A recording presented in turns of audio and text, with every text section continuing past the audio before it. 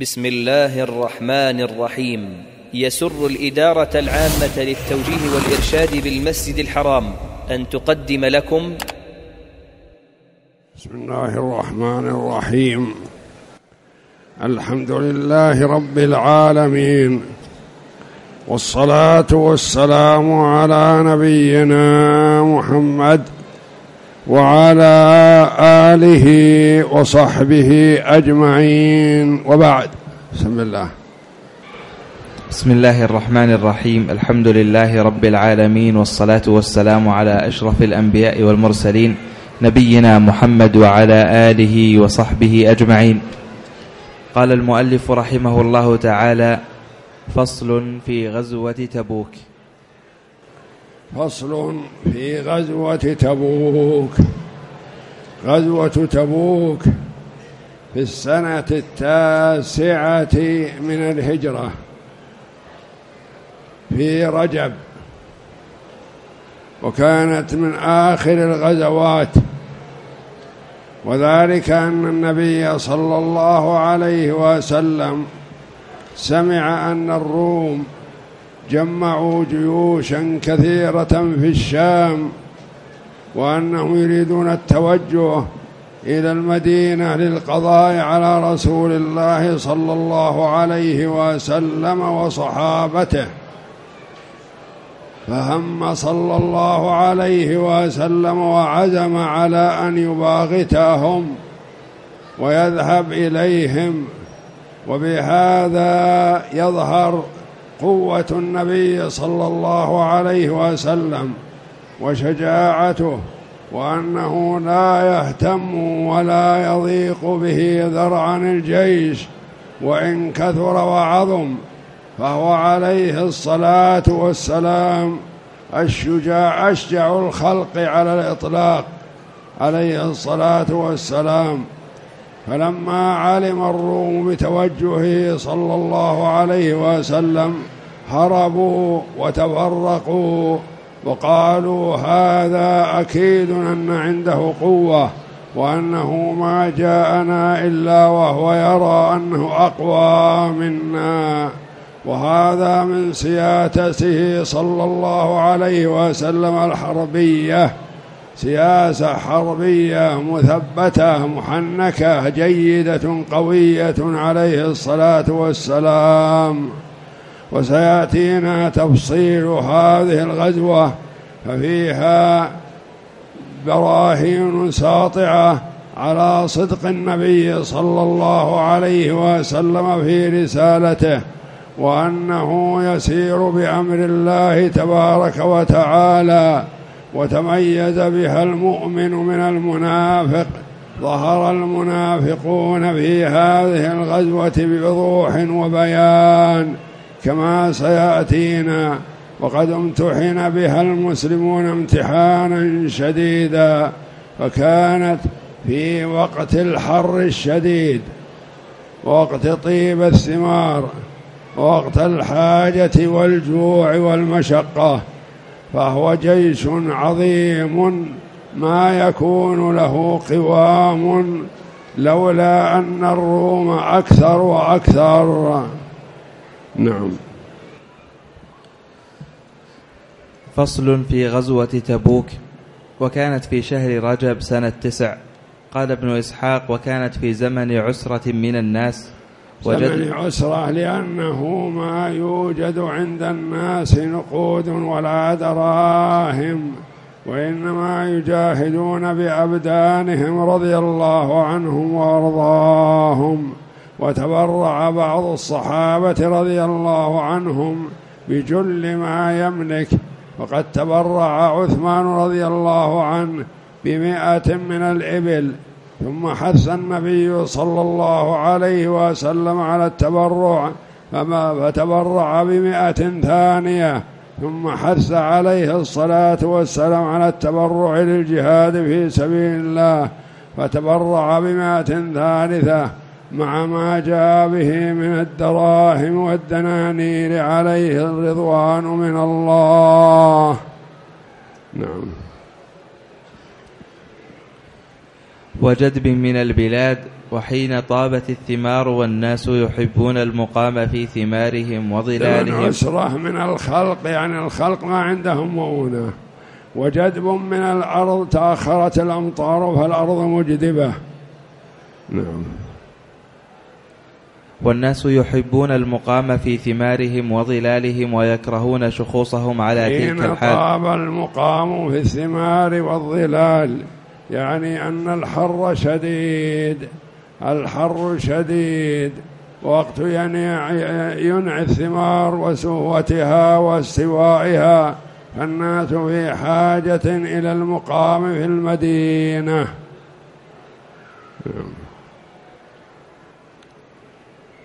والناس يحبون المقام في ثمارهم وظلالهم ويكرهون شخوصهم على تلك الحال. وكان رسول الله صلى الله عليه وسلم قلما يخرج في غزوة إلا كنا عنها وورى بغيرها إلا ما كان من غزوة تبوك لبعد, لبعد الشقة وشدة الزمان.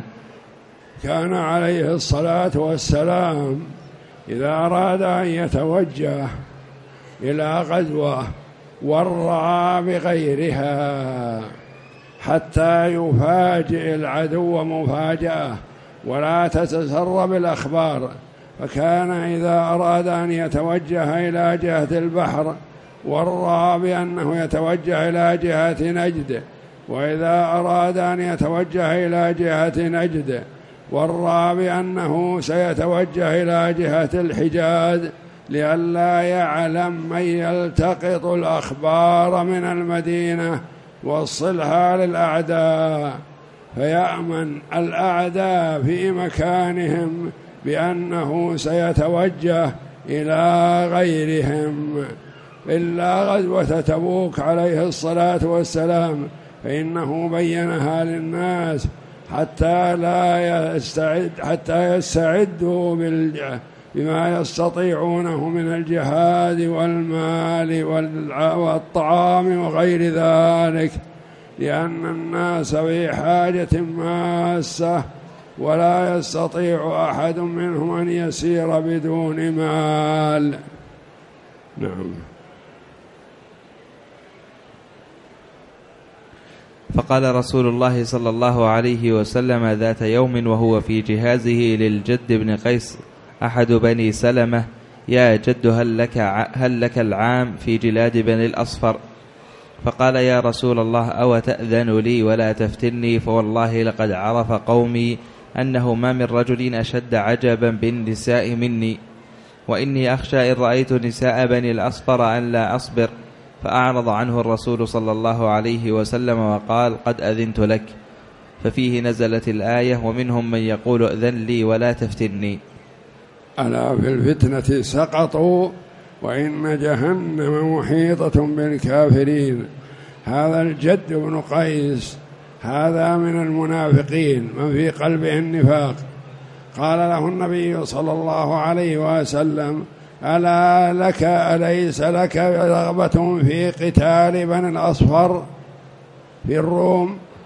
ألا تستطيع أن تقاتل الروم؟ قال يا رسول الله لقد علم قومي أنه ما في أحد أشد عجبا ومحبة للنساء مني وإني خشيت أن إذا رأيت بنات الروم أن أعثوا بهن بالفساد فأعفني. فقال رسول الله صلى الله عليه وسلم أعفيتك وعذرتك لأنه منافق فأنزل الله فيه جل وعلا ومنهم من يقول ائذن لي من المنافقين من يقول ائذن لي ولا تفتني لا تختبرني لا تلقي علي الفتنة. ألا في الفتنة سقطوا هم سقط في الفتنة والعياذ بالله امتناعه من الخروج مع رسول الله صلى الله عليه وسلم وطلبه الإذن منه. قال أذنت لك يعني وسيغنينا الله عنك وعن جهادك.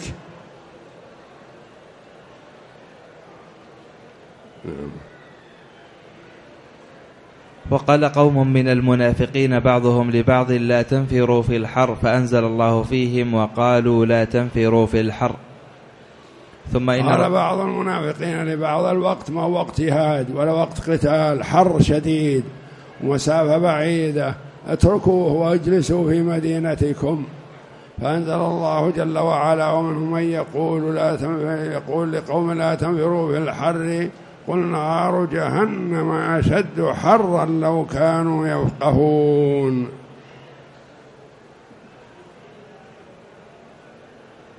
نعم. وقال قوم من المنافقين بعضهم لبعض لا تنفروا في الحر. فأنزل الله فيهم وقالوا لا تنفروا في الحر. ثم إن رسول الله صلى الله عليه وسلم جد في سفره وأمر الناس بالجهاز وحض أهل الغنى على النفقة والحملان في سبيل الله. فحمل رجال من أهل الغنى واحتسبوا وأنفق عثمان بن عفان في ذلك نفقة عظيمة لم ينفق أحد مثلها. قلت كأنه غني رضي الله عنه ونفسه سخية. وبذل في سبيل الله أعطى مئة من الإبل بأحلاسها وأقتابها وما تحتاج إليه. فحث رسول الله صلى الله عليه وسلم على النفقة في سبيل الله فقال يا رسول الله علي مئة ثانية. ثم حث صلى الله عليه وسلم على النفقة في سبيل الله فقال عثمان علي مئة ثالثة.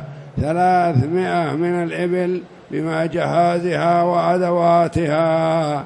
يركب عليها المجاهدون في سبيل الله مع ما جاء به من ذهب كثير عجزت يده عن حمله رضي الله عنه فكان يتهلهل وجه رسول الله صلى الله عليه وسلم كالقمر مسرورا بهذه النفقة في سبيل الله.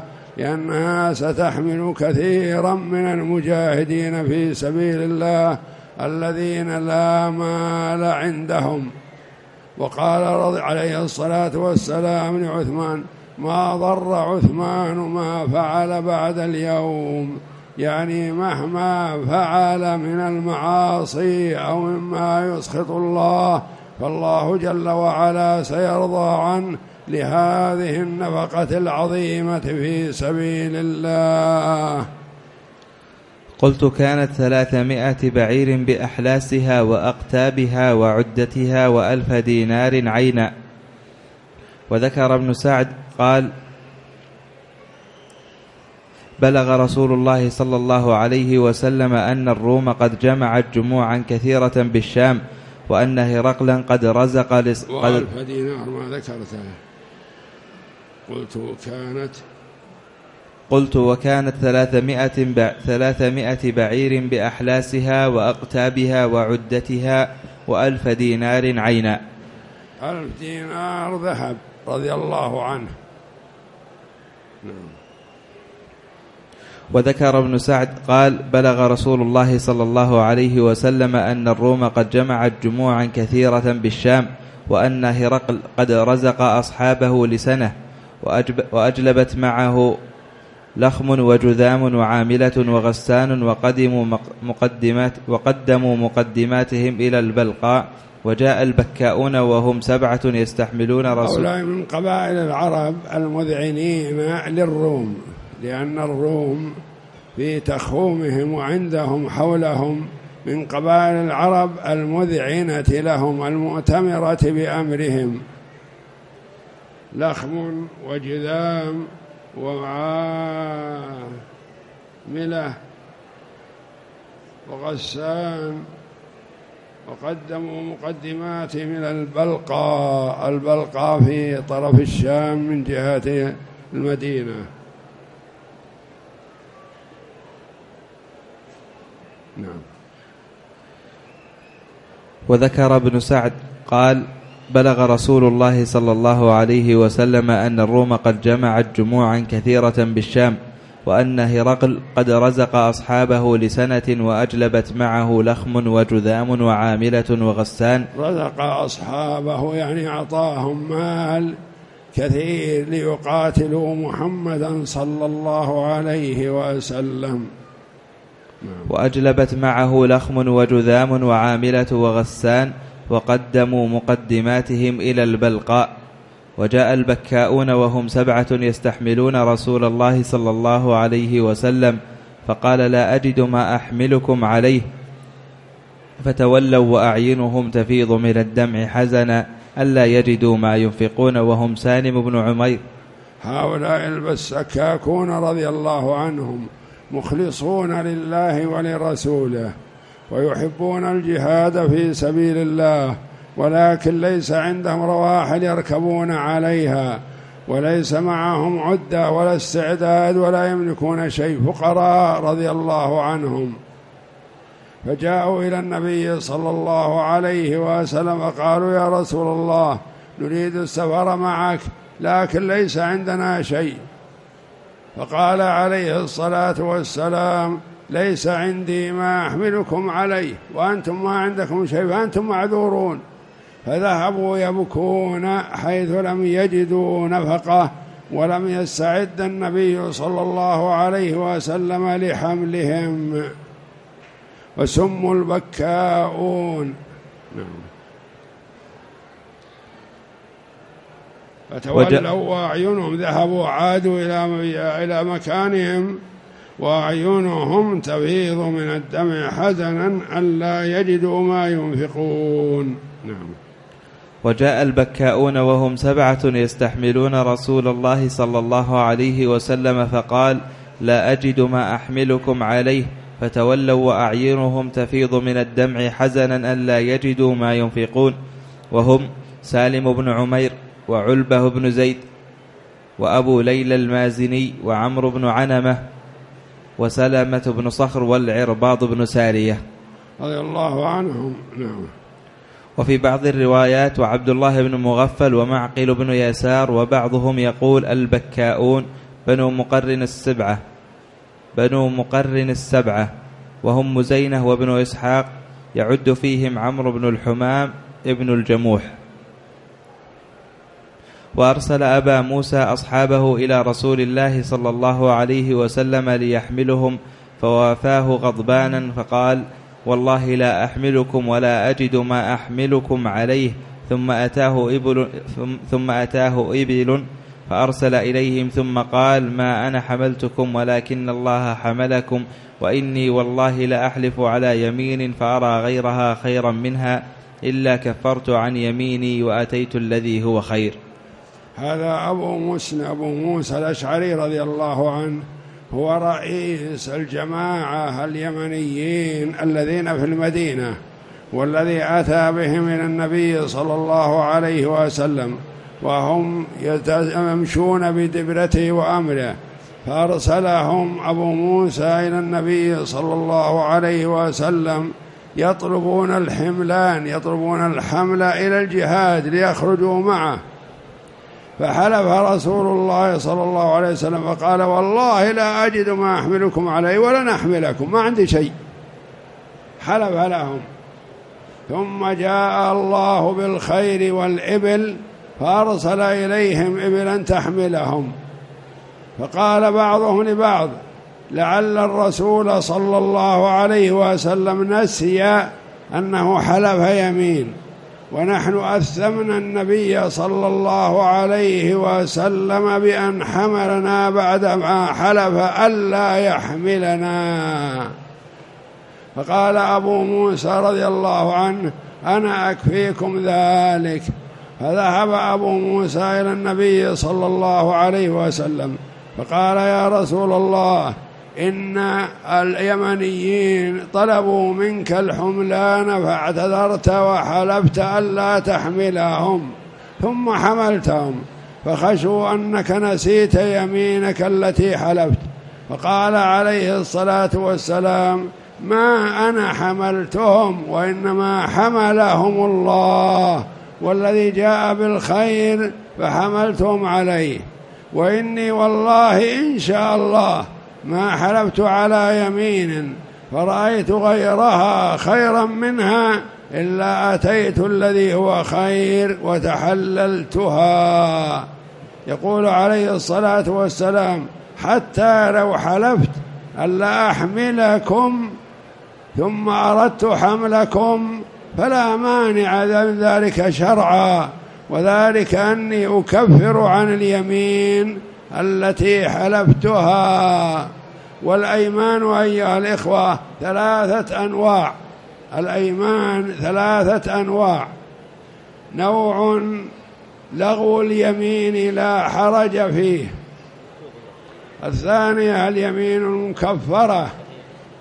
الثالثة اليمين الغموس. ثلاثة أيمان. واحد منها يعتبر لغو اليمين. لا حرج فيه ولا إثم ولا كفارة.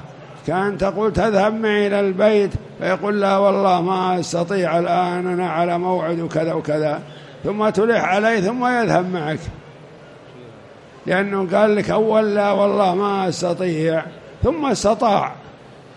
هذا لا حرج عليه في هذه اليمين لأن هذه تعتبر لغو اليمين ليس حلفا مؤكدا.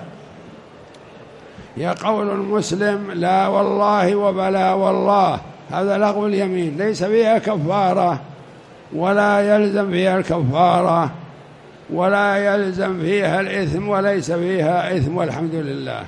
هذه تعتبر لغو اليمين. لقوله تعالى لا يواخذكم الله في اللغو في أيمانكم.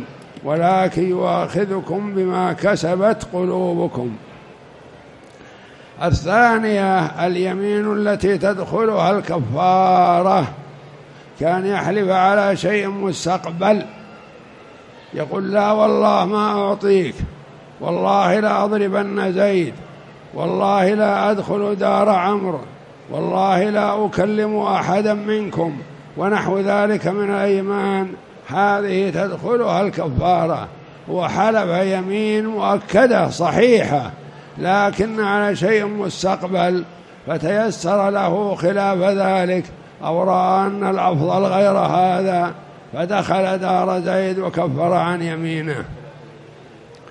أو كلم عمرا وكفر عن يمينه أو أعطى زيدا وكفر عن يمينه.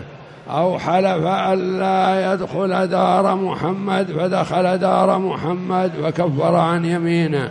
أو حلفت المرأة ألا تدخل دار بنتها فدخلت دار بنتها وكفرت عن يمينه. أو حلف الرجل ألا يدخل دار ولده غضبانا عليه ثم دخلها فعليه الكفارة ولا إثم في هذا والحمد لله. وهي هذه اليمين التي حلفها النبي صلى الله عليه وسلم لليمانيين. قال لهم والله لا أحملكم وما عندي ما أحملكم عليه. حلف يمين ألا يحملهم لأنه لا يرى عنده ما يكفيهم للحمل. ثم رزقه الله جل وعلا المال والإبل فجاءت فحملهم وأرسل إليهم بالحملان. فتلاوموا لما جاءتهم الإبل من قبل الرسول صلى الله عليه وسلم فقالوا أثمتم النبي صلى الله عليه وسلم ألححتم عليه فحملكم وهو حلف ألا يحملكم. فكفاهم أبو موسى الأشعري رضي الله عنه وذهب إلى النبي صلى الله عليه وسلم وقال له ما قال فقال ما أنا حملتهم إنما الله هو الذي حملهم. ثم أخبر صلى الله عليه وسلم بحكم شرعي يستمر إلى يوم القيامة. فقال إني والله إن شاء الله ما حلفت على يمين فرأيت غيرها خيرا منها إلا أتيت الذي هو خير وتحللتها. يعني ما تمنعني يميني عن إتيان الخير وما أرى أنه أحسن من اللجاج في اليمين.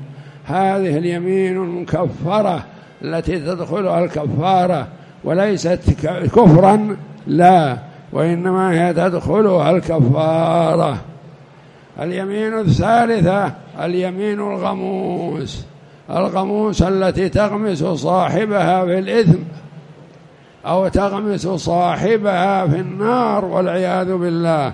الذي يحلف على يمين يعرف أنه كاذب فيها وإنما يقتطع بها مال امرئ مسلم. من حلف على يمين يقتطع بها مال امرئ مسلم وهو كاذب لقي الله جل وعلا وهو عليه غضبان. قالوا يا رسول الله وإن كان شيئا يسيرا قال عليه الصلاة والسلام وإن كان قضيبا من أراك عود سواك حلف عليه أنه لي وليس له ويعلم أنه ليس له. عليه دينار لزيد أو درهم لزيد. فقال أعطني حقي قال أبد ما عندي لك شيء أنكر. قال ابن حلال عطن حقي قال والله ما عندي لك شيء. فذهب وإياه إلى القاضي فقال له القاضي للمدعي عليك البينة. عندك أحد يشهد؟ قال لا والله ما عندي أحد يشهد. أنا وثقت بهذا الرجل أعطيته سلفته ولا عندي أحد يشهد. قال لك يمينه. فقال الآخر تحلف؟ قال نعم أحلف. فوعظه النبي صلى الله عليه وسلم فلم يتعظ ولم ينزجر. فحلف والله ليس عند زي عندي لزيد شيء أبد. لا درهم ولا ريال ولا شيء من هذا. فهذه اليمين الغموس التي تغمس صاحبها في الإثم ماذا يعلم أن عنده لزيد؟ لكنه حلف ليبرئ ذمته من هذا الحق لأنه يعرف أنه ليس لدى زيد شهود. ولو كان عنده شهود لشهدوا وحكم النبي صلى الله عليه وسلم على المدعى عليه بهذا الدين. لكنه ليس لدى زيد شهود فحلف هذا يمينا يقتطع بها مال هذا الرجل. فيقول النبي صلى الله عليه وسلم يلقى الله وهو عليه غضبان. فمثلا الأيمان التي عند المحاكم عند القضاة هذه هي اليمين الغموس. إذا كانت كاذبة إذا كان يعرف أنه كاذب في حقيقة الأمر لكن ليبري ذمته. وأما اليمين الصادقة فلا تضير الرجل. كان يكون الرجل ما عليه شيء ولا عنده شيء وليس عليه شيء لزيد. فحلف والله ما عندي لزيد شيء أبدا. وهو يجزم أنه صادق فهذه لا تضير صاحبها. يقول عمر بن الخطاب رضي الله عنه لا تمنعكم اليمين من حقوقكم. والله إن في يدي عصا ويشير إلى العصا رضي الله عنه. يقول اليمين إذا كانت صادقة ما تضر صاحبها لكن التي تضره هي اليمين الكاذبة. وإذا تورع وترك اليمين ولم يحلف لو أنه يعلم أنه ليس عنده لشيء زيد شيء لكنه مات ما حلف فأعطى الحق الذي عليه فهذا وقاية ليمينه خير له. يقول عثمان رضي الله عنه لما توجهت إليه اليمين قال له القاضي واحد من الصحابة رضي الله عنهم اختلفوا عثمان على شيء وادعاه على عثمان رضي الله عنه فقال له عندك بينة؟ قال لا ما عندي بينة. قال تحلف يا عثمان؟ قال يا ما أحلف. قال ولما؟ قال أخشى أن يصادف قضاء فيقال بيمين عثمان إلا كم يدعي علي؟ قال يدعي عليك بكذا وكذا قال هذه هي أعطها إياه. فأعطاها رضي الله عنه ولم يحلف. ابتداء ليمينه ابتداء اليمين حزن لكن لو كان عنده إذا كان عنده شك ابتدى يمينه فذلك حسن. أما إذا لم يكن عنده شيء لهذا فلا حرج عليه أن يحلف وتبرأ ذمته. فقيل لعثمان رضي الله عنه لا تحلف؟ لما لا تحلف وأنت تعلم أنه ليس عندك له شيء. قال لا أخشى أن يصادف قضاء وقدرا شيء مقدر فيصيبني فيقال بيمين عثمان يتهمني الناس أني كاذب في يميني رضي الله عنه وأرضاه. فهذه الأيمان الثلاثة أيها الإخوة يمين لغو. ما له إثم ولا شيء لا يؤاخذكم الله باللغو في أيمانكم. يمين مكفرة تدخلها الكفارة وهي اليمين على الشيء المستقبل. يمين على شيء مضى ويعلم كذب نفسه. هذه اليمين الغموس التي تغمز صاحبها في الإثم أو تغمس صاحبها في النار والعياذ بالله. فلنحذر اليمين الغموس فلنحذر اليمين الغموس ولنأتي بكفارة اليمين إذا كان لا ضرر فيها وأن ترك اليمين وانتهاؤها خير لنا من الاستمرار باليمين. إذا قال والله لا أدخل دار زيد نقول أنت بالخيار إن شئت أن لا تدخل ولا تدخل هذا من حقك. وإن شئت أن تدخل فهو خير لك وكفر عن يمينك. هذا الذي حلف النبي صلى الله عليه وسلم على شيء مستقبل قابل لأن يدفعه وقابل أن يمنعه. وأرسل أبا موسى أصحابه إلى رسول الله صلى الله عليه وسلم.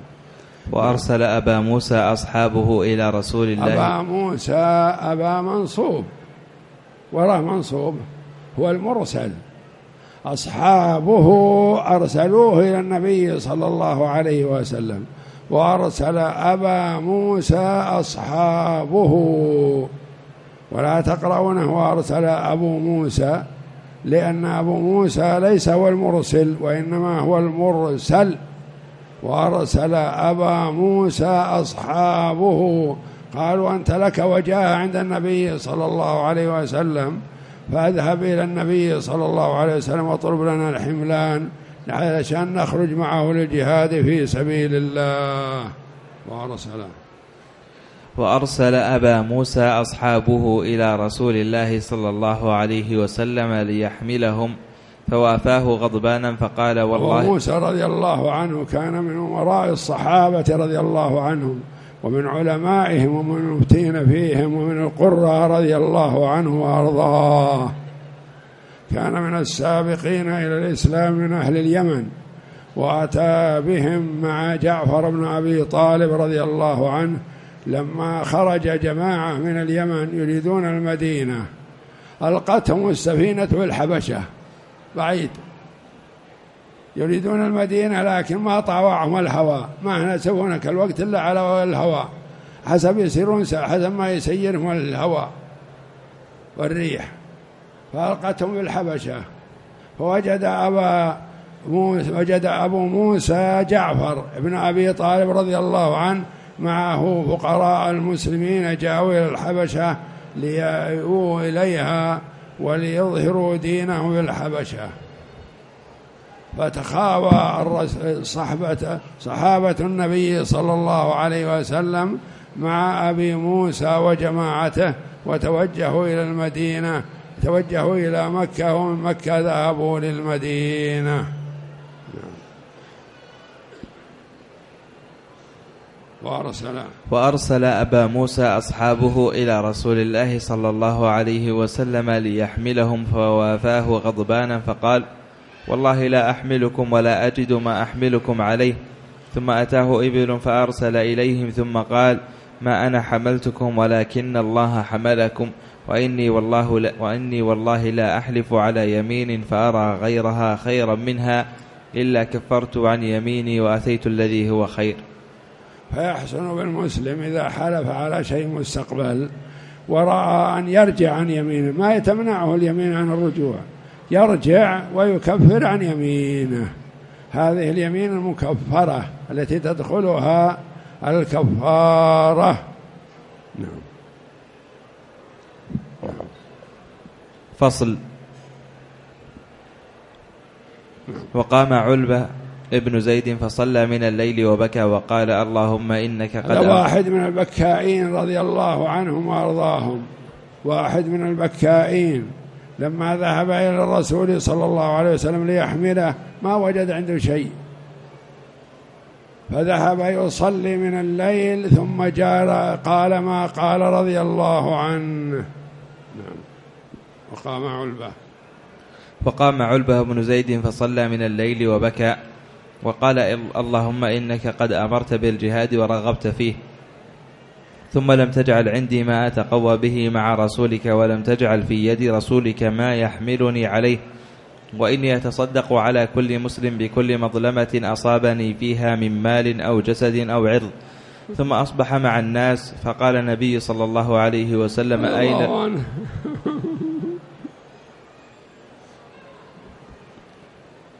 ثم أصبح مع الناس فقال الله عنه. هذا لما رده الرسول صلى الله عليه وسلم قال ما عندي شيء أحملك عليه.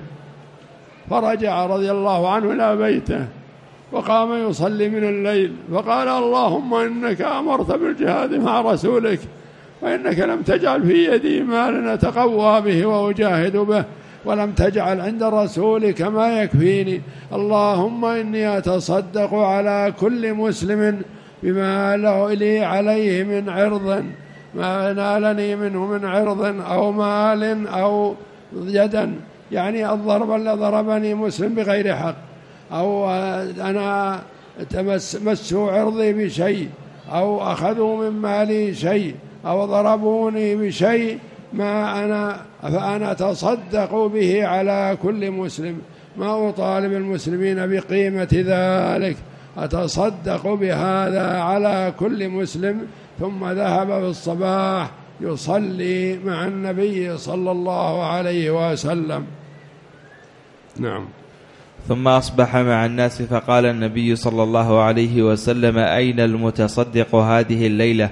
فلم يقم إليه أحد ثم قال أين المتصدق؟ فلم يقم. فقام إليه فأخبره فقال النبي صلى الله عليه وسلم أبشر فوالذي نفس محمد بيده لقد كتبت في الزكاة المقب. المتقبلة. الله أكبر. جاء الوحي للنبي صلى الله عليه وسلم بالبشارة لهذا الرجل رضي الله عنه فأخبر النبي صلى الله عليه وسلم الصحابة لما صلى الفجر قال أين المتصدق هذه الليلة؟ ما قام أحد ما أحد تصدق.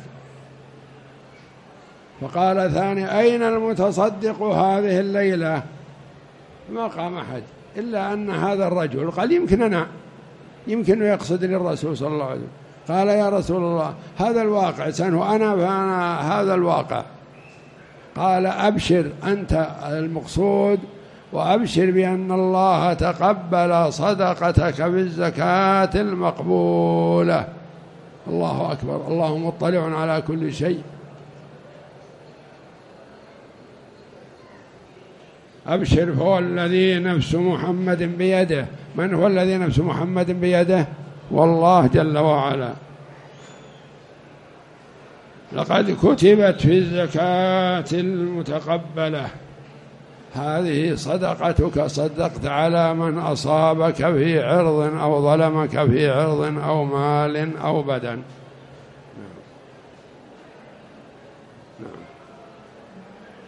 وجاء المعذرون من الأعراب ليؤذن لهم فلم يعذرهم.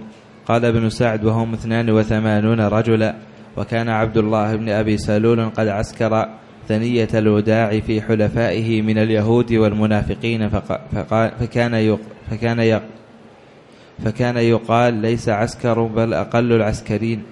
واستخلف واستخلف رسول الله صلى الله عليه وسلم على المدينة محمد بن مسلمة الأنصاري وقال ابن هشام سباع بن عرفطة والأول أثبت. فلما سار رسول الله صلى الله عليه وسلم المعذرون من الأعراب من المنافقين هؤلاء. قالوا يا رسول الله عذرنا فلم يعذرهم النبي صلى الله عليه وسلم لأنه يعرف أنه ليس لهم عذر. فلم يعذرهم وتخلفوا. وكانوا اثنان وثمانون. وكان عبد الله بن أبي بن سلول عبد الله بن أبي بن سلول هذا رأس المنافقين والعياذ بالله. وابنه عبد الله ابن عبد الله ابن سلول هذا من المخلصين الموحدين رضي الله عنه. الابن مخلص موحد. سلفي طيب. والأب منافق كبير المنافقين. والعياذ بالله. وجاء الابن إلى رسول الله صلى الله عليه وسلم وقال يا رسول الله قد يقال إنك تريد قتل أبي فمرني أنا بقتله والله لا أحضرن لك رأسه الآن. فقال أوتحب ذلك؟ قال والله لا أحب هذا يا رسول الله وقد علم الأنصار أنه ليس فيهم أحد أبر من بأبيه مني بأبي. يعني أنا بار بأبي لكن خشيت يا رسول الله أن تأمر أحد الصحابة رضي الله عنهم بقتل أبي. فلا تقر نفسي أن أترك قاتل أبي يمشي على الأرض فأقتله فأكون قتلت مؤمنا بمنافق الذي هو أبي. فمرني قال النبي صلى الله عليه وسلم بعدما دعا له ووفق بالتوفيق والسداد وقال له بل نستأني به لعل الله أن يهديه لعل الله أن يصلح حاله. فمات منافقا والعياذ بالله. عبد الله بن أبي بن سلول. وأما الإبن فاسمه عبد الله ابن عبد الله بن أبي بن سلول. رضي الله عن الإبن.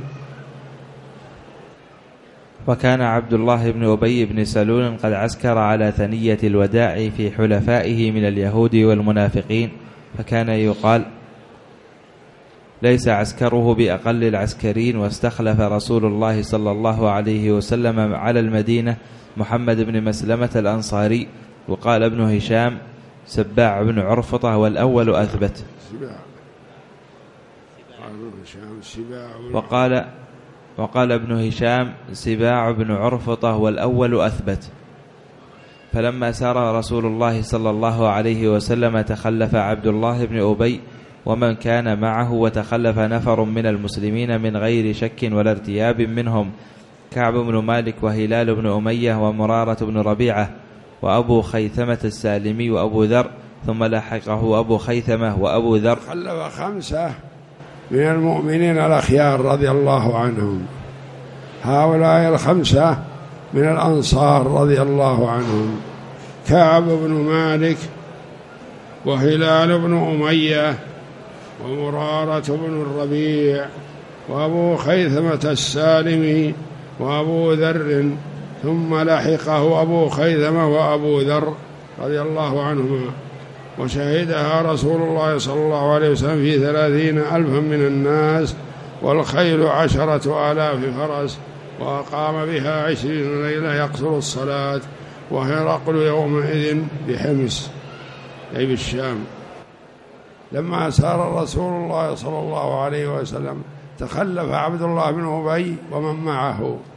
من المنافقين واليهود كانوا يتجهزوا بيخرجون مع الرسول عليه الصلاة والسلام.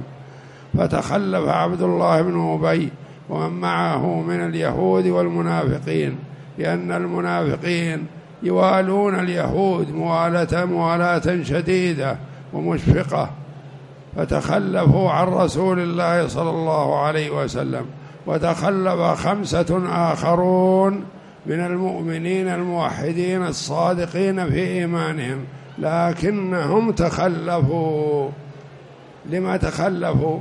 سيأتينا بيان حالهم رضي الله عنهم وأرضاهم. نعم.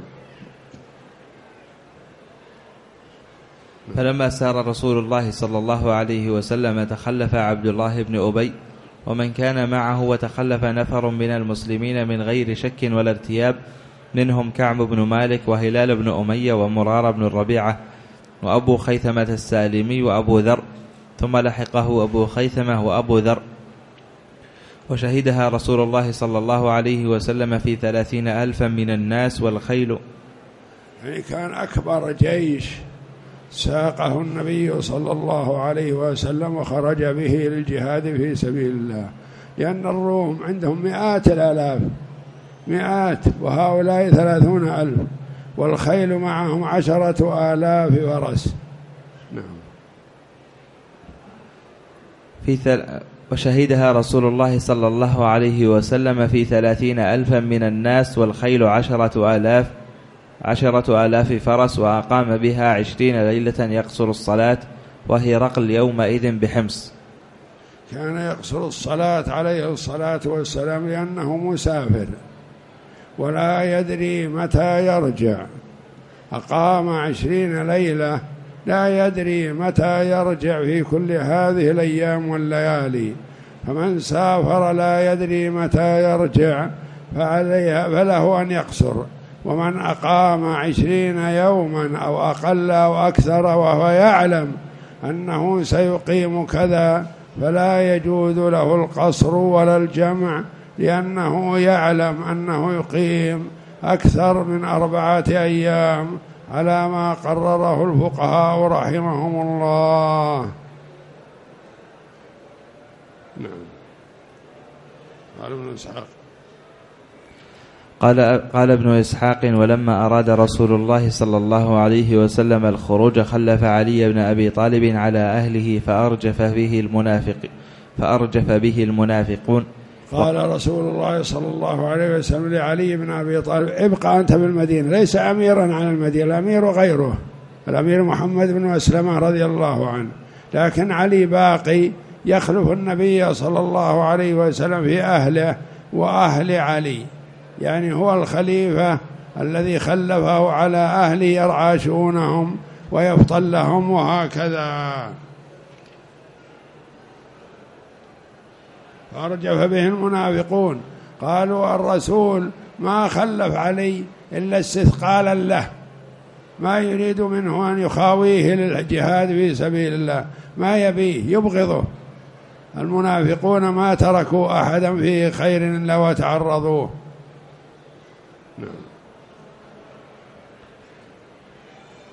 قال ابن إسحاق ولما أراد رسول الله صلى الله عليه وسلم الخروج خلف علي بن أبي طالب على أهله فأرجف به المنافقون وقالوا ما خلفه إلا استثقالا وتخففا منه. فأخذ علي رضي الله عنه سلاحه ثم خرج حتى أتى رسول الله صلى الله عليه وسلم وهو نازل بالجرف. فقال يا نبي الله زعم الجرف على أربعة على ثلاثة أميال من المدينة الجرف. مكان الجامعة الإسلامية أول ما فتحت في الجرف يعني قريب من المدينة جدا. أربعة كيلو خمسة كيلو عن المسجد النبوي. قبل أن يذهب عليه الصلاة والسلام إلى تبوك.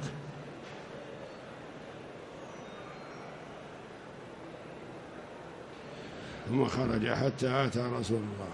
ثم خرج حتى أتى رسول الله صلى الله عليه وسلم وهو نازل بالجرف فقال يا نبي الله زعم المنافقون أنك إنما خلفتني لأنك استثقلتني وتخففت مني. فقال كذبوا ولكني خلفتك لما لما تركتك ورائي فارجع فاخلفني في أهلي وأهلك. أفلا ترضى أن تكون مني بمنزلة هارون من موسى إلا أنه لا نبي بعدي. فرجع علي إلى المدينة. طاب خاطر علي رضي الله عنه وأقام بالمدينة. والنبي صلى الله عليه وسلم خوفا من الغلو في علي. قال أنت خليفتي مثل هارون لما خلفه موسى لما ذهب إلى مناجاة ربه في الطور. فعند ذلك استدرك قال عليه الصلاة والسلام إلا أنه لا نبي بعدي أنت لست بنبي وإنما خليفتي فقط عليه الصلاة والسلام. إلا أنه لا نبي بعدي فرجع علي إلى المدينة. هذا وسيأتي الكلام على بقية الغزوة إن شاء الله والله أعلم. وصلى الله وسلم وبارك على عبده ورسوله نبينا محمد وعلى آله وصحبه أجمعين. يقول السائل أين تقع الروم في جزيرة العرب؟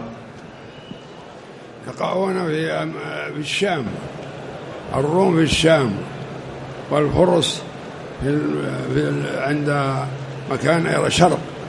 بلاد إيران وما حولها.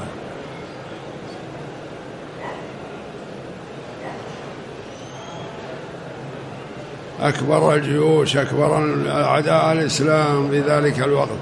الفرس والروم. الروم هم يدينون ب بالإنجيل, بالإنجيل يدينون بدينهم النصرانية. والفرس مشركون. يقول السائل رجل سب الدين فحلفت أن أشتكيه إلى هيئة الأمر بالمعروف والنهي عن المنكر فاعتذر فكفرت عن يميني فماذا تسمى هذه اليمين؟ هذه اليمين سمى اليمين التي تدخلها الكفارة. ما دام أنه اعتذر وتاب إلى الله جل وعلا وتركت شكواه فأنت عليك كفارة اليمين. يقول السائل هناك من يقرأ القرآن في الصلاة بقلبه دون أن يحرك شفتيه وجميع الأذكار فما حكمه؟ لا يصح ذلك أيها الإخوة بل لا بد أن يقرأ تخرج الحروف من شفتيه. لا بد أن يخرج الحروف وإن أسر بها فلا بأس لكن لا بد أن يتكلم لا يقرأ بقلبه دون لسانه. يقول السائل إذا كرر المسلم قول سبحان الله وبحمده مئتي مرة فهل يحصل له الأجر مرتين؟ الله جل وعلا يثيب الذاكرين ولا يضيع لك شيء عند الله. فإذا ذكرت ذلك مرة مئة مرة غفر الله لك ذنوبك وإن كانت مثل زبد البحر. فإذا كررت الذكر أكثر من مرة فلك بكل مرة ذلك ما وعد الله به رسوله صلى الله عليه وسلم.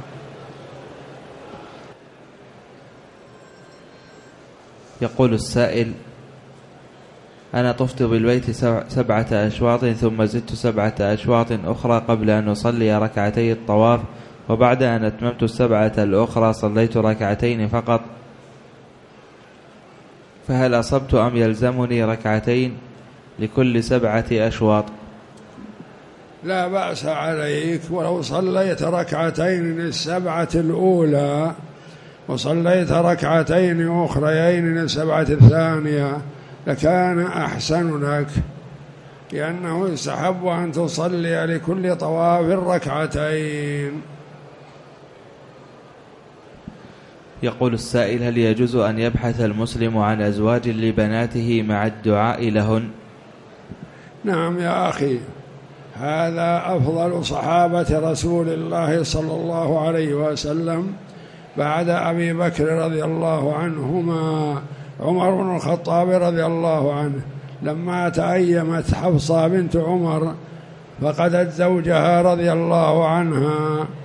بحث النبي بعث عمر رضي الله عنه لزوج لبنته زوجا صالحا فذكرها لعثمان قال إن رغبت أن أزوجك حفصة فسكت عثمان وقال بدا لي أن لا أتزوج ثم ذكرها لأبي بكر فقال إن كنت زوج إن رغبت زوجتك بنتي حفصة فسكت أبو بكر رضي الله عنه ولم يجب عمر بشيء فوجد في نفسه فذهب إلى النبي صلى الله عليه وسلم يشتكيهما فقال يا رسول الله عرضت بنتي حفصة على عثمان فسكت ثم إنه قال لي بدا لي ألا أتزوج. ثم ذكرتها لأبي بكر. فسكت ولم يجبني بشيء. ولما لم يجبني؟ فقال النبي صلى الله عليه وسلم طمأن عثمان طمأن عمر بأنه سيتزوج عثمان من هي خير من حفصة. ويتزوج حفصة من هو خير لك من عثمان وهو نفسه عليه الصلاة والسلام. فجاء الرجلان يعتذران من عمر رضي الله عنهما فقال عمر فقال أبو بكر لعلك وجدت في نفسك علي لما لم أجبك. قال نعم ولم لا أجد في نفسي عليك شيء؟ أعرض عليك ابنتي وتسكت؟ لما؟ فقال ما سكت إلا أني علمت أن رسول الله صلى الله عليه وسلم يذكرها ويريدها. فما يسوغ لي أن أقول لك انتظر سيخطبها النبي. هذا إفشاء لسر النبي صلى الله عليه وسلم. ولو تركها النبي صلى الله عليه وسلم لقبلتها. وكذلك عثمان رضي الله عنه. لأنهم استحيوا أن يقولوا له لا تستعجل على حفصة. سيخطبها النبي صلى الله عليه وسلم منك فيكون في هذا إفشاء لسر رسول الله صلى الله عليه وسلم. ولم يسغ لواحد منهم أن يقبلها وقد رغب فيها النبي صلى الله عليه وسلم رضي الله عن الصحابة أجمعين. وهذا سعيد بن المسيب رضي الله عنه ورحمه أحد سادات التابعين يخطب ابنته ولي عهد المؤمنين فيرفضه ثم يزوجها لطالب علم فقير رغبة في عرضها على هذا الطالب فقبلها فزوجها إياه ليحفظ دينها ومروءتها ودينها خير لها من ولي العهد الذي قد يضيع بيته. هكذا كان خيار الناس يخطبون لبناتهم ولا ضرر في هذا. هذا وأرجو الله جل وعلا. أن يمن علي وعليكم بالعلم النافع والعمل الصالح وأن يجعلنا جميعا من الهداة المهتدين. إنه سميع مجيب. وصلى الله وسلم وبارك على عبده ورسوله نبينا محمد وعلى آله وصحبه أجمعين.